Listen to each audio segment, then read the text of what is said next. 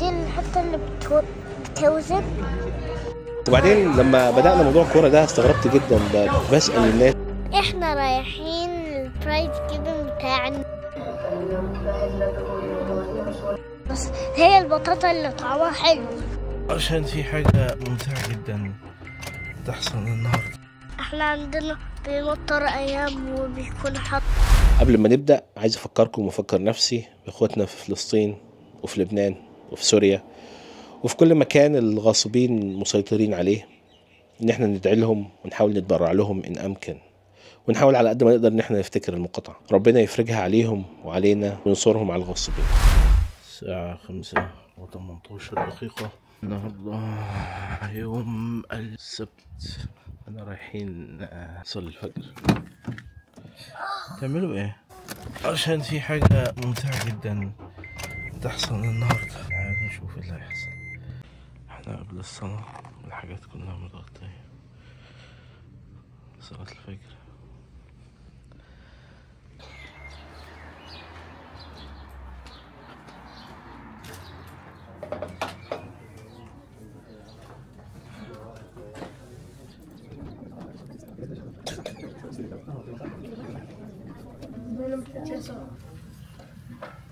أبي هريرة رضي الله عنه قال ان عمر بن الخطاب رضي الله عنه قال قال رسول الله صلى الله عليه وسلم انما الأعمال بالنيات وانما لكل امرئ ما نوى. فمن كانت هجرته إلى الله ورسوله فإن فهجرته إلى الله ورسوله ومن كانت هجرته دنيا أو ان امرأة ينكحها هجرته إلى ما حاج إليه. أنس. Go inside the jungle. يونس بس أنا ويونس قلنا مش سيء وريني إيه ده؟ دي عربية. كمان عاملين لنا فطار. مشبك.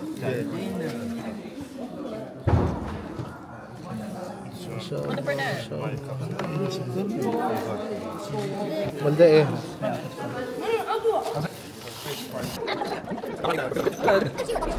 طبعا مسجد المنار أو مسجد الرحمن ما شاء الله عليهم عندهم activities قوية جدا للأطفال. بداية بقى من ال activities بتاع تحدي الفجر زي اللي أنتوا اتفرجتوا عليه ده. كانوا عاملينه في رمضان اللي فات ما شاء الله ونجح نجاح رهيب. وقبلها كان في كمان مسابقة القرآن الكريم برضو بتاعت رمضان. ما شاء الله برضو أنس ويونس كانوا من المشاركين فيها وانبسطوا جدا.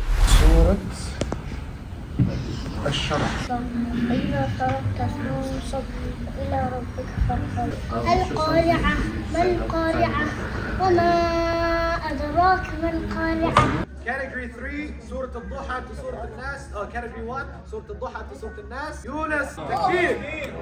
الله أكبر.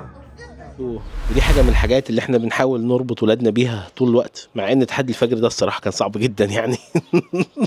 وكمان هم بيكونوا متحمسين جدا خصوصا بيبقى فيه جوائز رائعة. يعني هم مثلا في تحدي الفجر في رمضان اللي فات كل واحد خد فيهم درون والسنة دي خدوا شوية جوائز تانية وإحنا برضو بنديهم جوائز. فدي حاجة من الحاجات اللي قطعا لازم تربط نفسك بيها. النهاردة يوم الجوائز العظيم. رايحين نستلم جوائز أخرى في مكان آخر.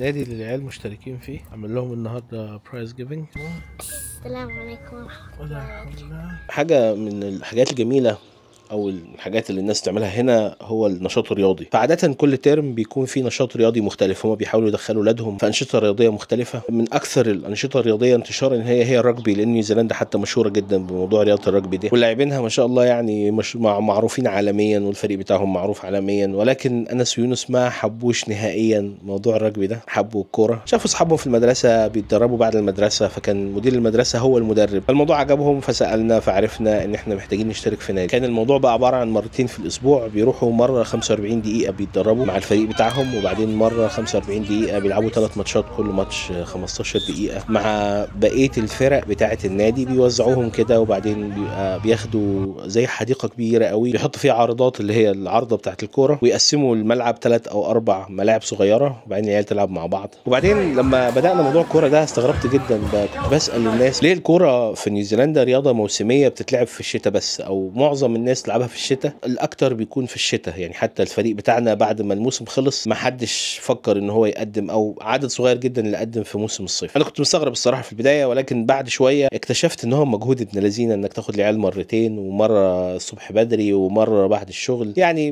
ما أعرفش حسيت الموضوع مرهق جدا يعني أنا حتى ما فكرتش إن أنا أوديهم تاني في ال- في الصيف. بعدين في الصيف بيخلصوا الترم الرابع وبعدين بياخد الأجازة الكبيرة. بيكون في برامج تانية سواء بقى في المسجد برضو المسجد بيعمل برنامج صيفي وبيعمل برنامج طول السنة أو إن أنت بقى تاخدهم توديهم سباحة أو تلعبهم نفس الرياضة تاني إحنا رايحين ال prize giving بتاع النادي عشان ان, إن ال season خلص يا سلام نادي إيه؟ نادي إيه بقى؟ نادي بي اولمبيك أنت متأكد إن دي الحتة؟ مش متأكد تعال نشوف لا مش هنا يا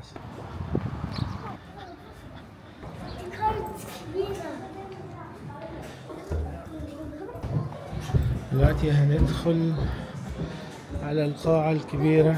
أوه. والله مش عارف في كؤوس هناك اهي. وهناك اهي. معلقين كل بلاد العالم. مش عارف. فين؟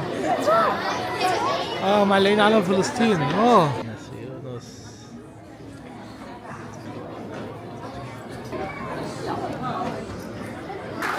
And then they had a fantastic tournament too over the North Shore. Um, إيه مالك؟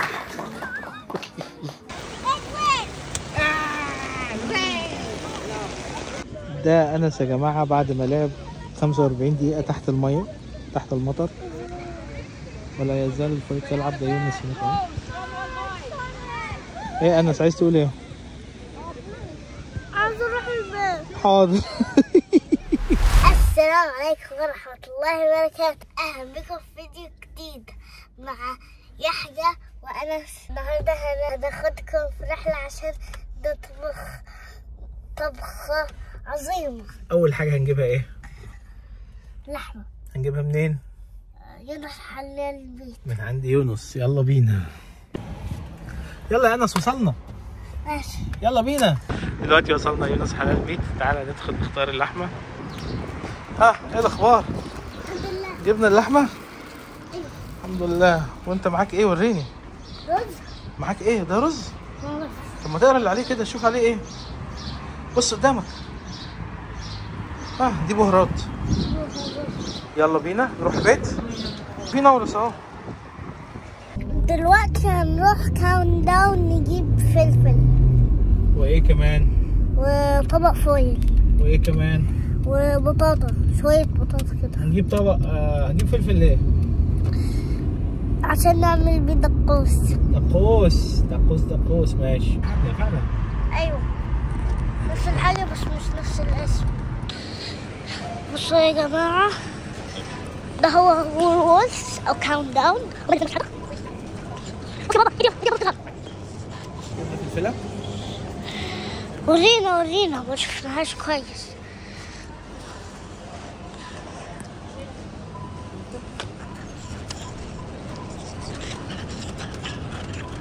دي التلاجة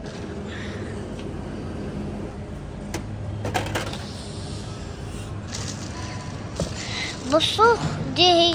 ده البطاطا. بطاطا. مش بطاطس يلا بينا للسوريين اللي هي بطاطا بس هي البطاطا اللي طعمها حلو دي حتة المحاسبة اللي بنحاسب فيها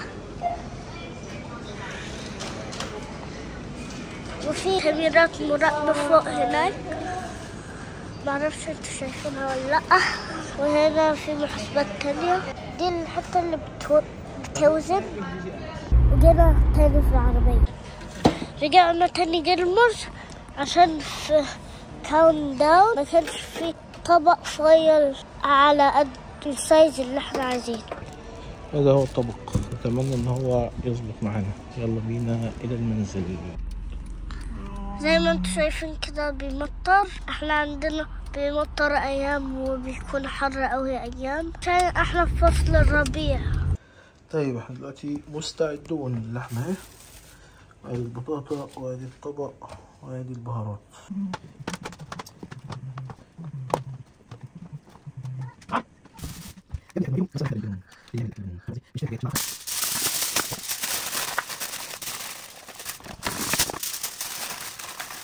هو ده بقى جو ال- الربيع. دنيا مطر مطر السنين والصبح كانت حر حر السنين. هو ده الربيع في نيوزيلندا.